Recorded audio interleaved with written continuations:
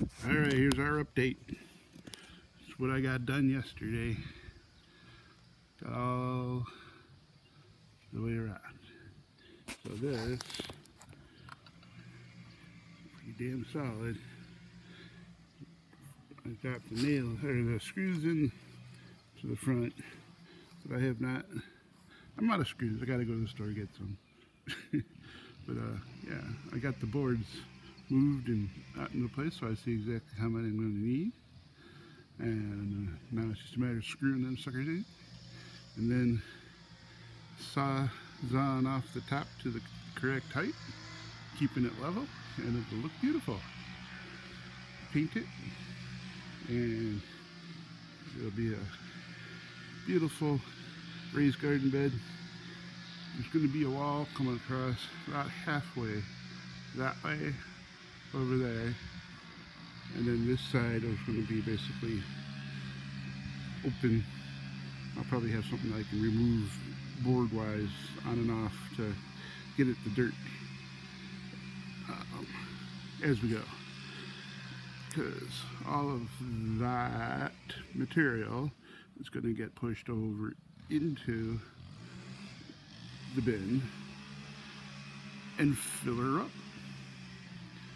Okay, before I do that, stage two is putting the wall that's going to go from there straight across to about where that um,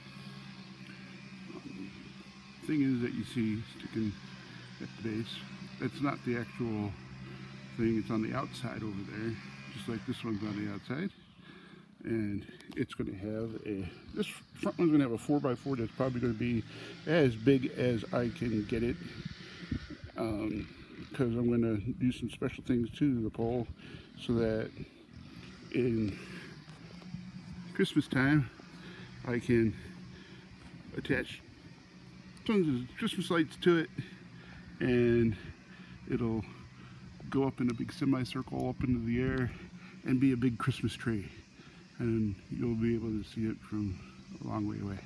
It'll be cool. So that's going to be that.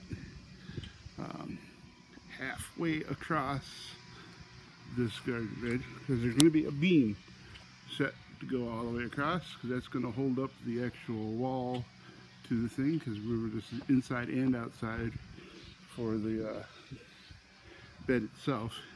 The outside wall is going to have to float over the top of it. So I'm going to take right in the middle and put a beam that can take a beam from here to the middle and from the middle to the other side and be solid, solid floating. Um, so there'll be a post about out there that holds the beam that comes across the middle. So I have to make a list of parts that I need, go to the store, get screws, wood, and startup stage, whatever. I'm not naming my stages, but it's all right. Um, yeah, that's where I'm at. Gonna have some more fun.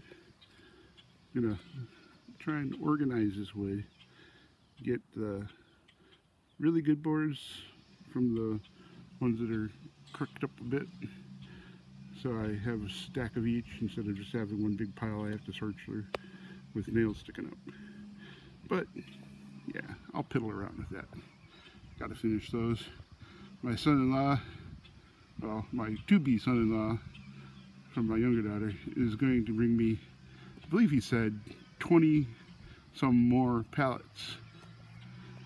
So I'm going to be moving the whole pallet operation away from the front of the garage to probably over here at the end of the bed and I can put the good wood close to here in a stack the wood that's not good there and we'll get all that done. There's my daughter. Do something silly. What? do something silly. What? do something silly.